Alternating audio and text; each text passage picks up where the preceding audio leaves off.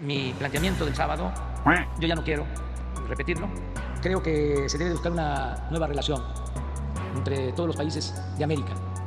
Y que creo que hay que convencer y persuadir a las autoridades de Estados Unidos para que nos integremos con respecto a la soberanía de cada país, que ya la política que se definió hace 200 años no funciona, que ya no tienen que haber invasiones, anexiones, bloqueos y que debe haber cooperación para el desarrollo.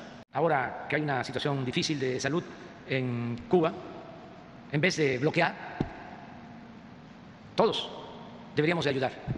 Casi todos los países del mundo están en contra del bloqueo a Cuba. Nosotros tomamos la decisión por solidaridad frente a esta situación de bloqueo, queriendo someter políticamente al pueblo de Cuba, al gobierno de Cuba.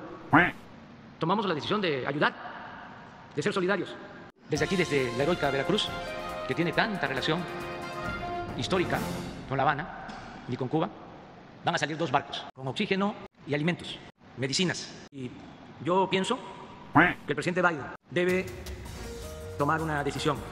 Es un llamado respetuoso desde ningún punto de vista injerencista, pero hay que separar lo político de lo humanitario.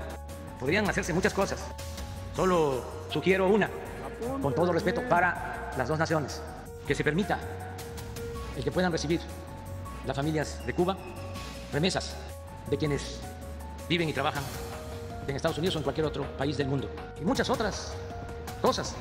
Y algo que es fundamental, diálogo, diálogo, diálogo, diálogo. Lo que decía Juárez, nada por la fuerza, todo por la razón y el derecho.